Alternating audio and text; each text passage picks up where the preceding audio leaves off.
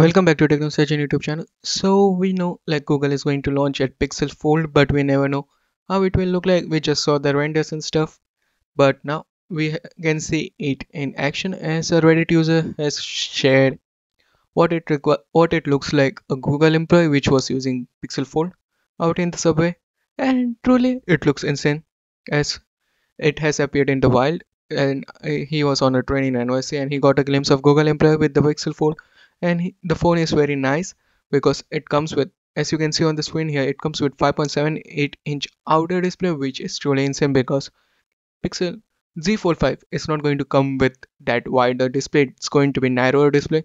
So google is taking the feedback not taking the feedback but google is employing improving the outer display when compared to z fold 5 even though z fold 5 is there for very long time and google has, has this for the first time like their fold series but it looks nice.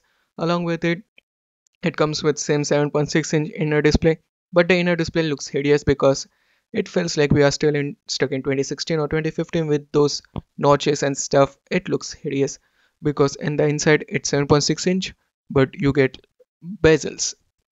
Not notch but bezels. They could have gone with hole punch cutout but they didn't got gone with it. But one thing where google will improve is the camera sensor because they are going to technically use that 50 megapixel camera sensors which they are using in pixel 7 and 7 pro.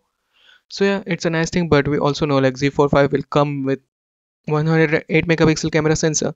Along with it pixel fold will have the price point of 1799 bucks which we thought like they will going to be trying to undercut samsung but they are not trying to undercut it. They are going to go for 1799 bucks and it's just a rumor but yeah.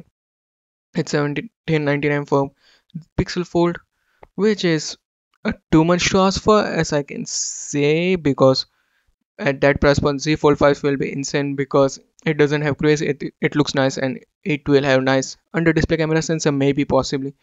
So it looks bad. But google I/O is set for set in march 10th on march 10th something around that time. So we will know about it more. Maybe they will show pixel 8 and fold when they will be launching it and stuff related to it. So yeah subscribe to the channel and i will post make a video regarding it and update you regarding pixel fold. So yeah that's it for me today. What do you think about the news? Sound of your thoughts in the comment section below. Like share and subscribe and i will watch you in the next one. Peace out